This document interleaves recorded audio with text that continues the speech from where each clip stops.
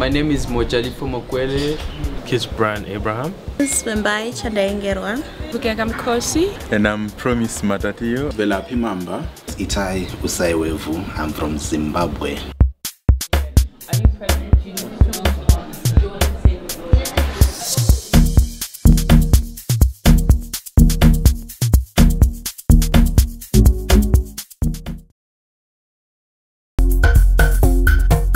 Expectations were basically to, to be able to use these social media networks to effectively promote the work that I do and also to create a network of people with whom we share the same ideas. Ultimately, the goal is to have people act, and there should be clear affinities in terms of how people can link their social uh, media work with practical organizing on the ground. How to integrate various social media tools in the campaign so that their voice can be able to be amplified in uh, whatever way, um, how you can integrate maybe Facebook with YouTube, YouTube and Twitter, and also how you can make sure that um, your campaign gains momentum. So this experience has been really great in that I've um, learned how to consolidate all our efforts and bring them all together so that they are not just isolated campaigns on each uh, social media platform but um, bring them all together to work together. The positive energy that people have on social media and how they would like to use social media in the work they do.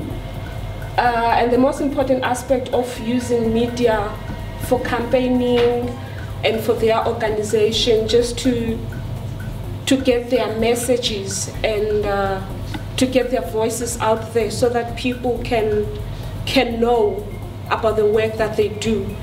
Yes, this has gone a long way to actually assist me to, to be more active on the social networks because I've since realized that actually the work that we do without proper marketing through such medias it can just be can just amount to nothing, nothing at all.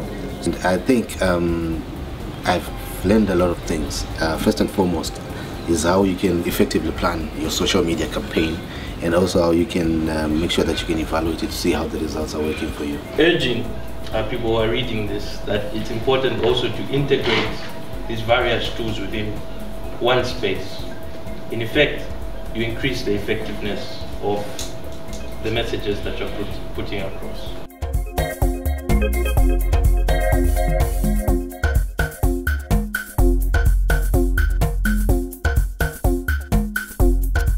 Basically, I think I should thank OSISA for doing this kind of a training. I think that really speaks volumes of what, how grounded they are and really showing that they sit down and find out what they need. Uh, a core value at OSISA is um, improving the way we do our advocacy um, and assisting our partners to do their advocacy better. And at the heart of that is improving how we communicate. And I think this has done that. It was, I liked the training a lot. Conducting it was fun because I think when we started out, um, I did expect people to know more than they did, mostly because of the way they were speaking about it.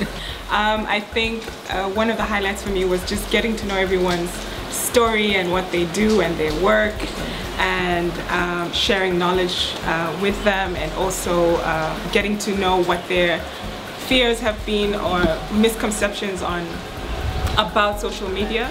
And so one of my favorite statements at the end was when Promise said that he thought that Twitter was user friendly, but really he was not Twitter friendly because he hadn't been using it the right way or trying to. So I'm really glad that we actually turned people around. People are restarting their blogs, they're reusing their Twitter accounts and their Facebook accounts, and they can actually see why they need to communicate the way yeah. they should and how they're supposed to link yeah. these together.